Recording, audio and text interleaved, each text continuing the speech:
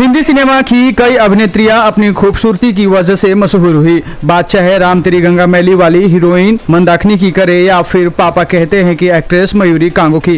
ये ऐसी अभिनेत्रियाँ रही जिनकी फ़िल्मों से ज़्यादा खूबसूरती की चर्चा थी। लेकिन समय के साथ इन्होंने ग्लैमर की दुनिया को अलविदा कह दिया। आज गुमनाम सितारे में हम बात करेंगे वीराना फ़िल्म की खूबसूरत एक्ट्रेस जैस्मिन की। क्या आप जानते हैं जैस्मिन अब कहाँ है और क्या करती है? फ़िल्म में जैस्मिन इकलौती ऐसी चुड़ैल थी लोग जिसे डरे कम, लेकिन खूबसूरती का कायल ज़रूर हुए। बिराना के बाद जैस्मिन ने कई और हॉरर फ़िल्मों में काम किया, जिनमें बंद दरवाज़ा, डाक बंगला और पुरानी हवेली जैसी फ़िल्में शामिल है। लेकिन सबसे ज़्यादा चर्चा हुई बिराना की। यह फ़िल्म उन्नीस में रिलीज़ हुई थी। बिराना के बाद बॉलीवुड भी जैस्मिन से बिराना हो गया। इस फ़िल्म के पहले भी उनकी दो ही फ़िल्में आई थी। कहा जाता है कि अंडरवर्ल्ड डॉन जैस्मिन की खूबसूरती पर फिदा हो गए थे।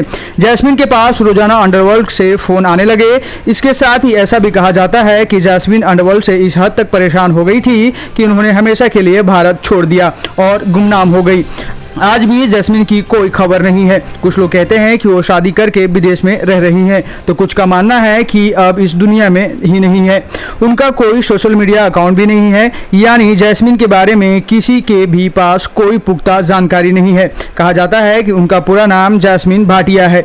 कुछ रिपोर्ट्स में उन्हें जैस्मिन धुन्ना भी बताया गया। प्रोड्यूसर, डायरेक्टर एनडी कोठारी ने फ़िल्म सरकारी मेहमान में जैस्मिन को लॉन्च किया था। इस मूवी में विनोद खन्ना और अमजद खान भी थे। कहना गलत नहीं होगा कि इस हीरोइन की खूबसूरती इसी के लिए मुसीबत बन गई और मजबूरन उसे सभी की नज़रों से दूर जाना पड़ा। तमाम माफिया डॉन उसके साथ हम बिस्तर होना चाहते थे। जैस्मिन इससे परेशान हो गई। जैस्मिन इस हीरोइन का असली नाम नहीं था। फ़िल्मों में बोल्ड किरदार निभाने की वजह से उन्होंने अपना नाम जैस्मिन रखा। याद दिला दे कि वीराना में जैस्मिन ने हॉरर किरदार और नॉर्मल किरदार दोनों ही निभाए थे। फ़िल्म सुपरहिट साबित हुई थी। आज जैस्मिन के फैंस उनकी याद में वीराना फ़िल्म देखते हैं। फ़िलहाल इस बारे में आप क्या कहना चाहेंगे, कमेंट्स करके ज़रूर बताएँ और भी ऐसे अपडेट्स के लिए हमारे चैनल को सब्सक्राइब करें।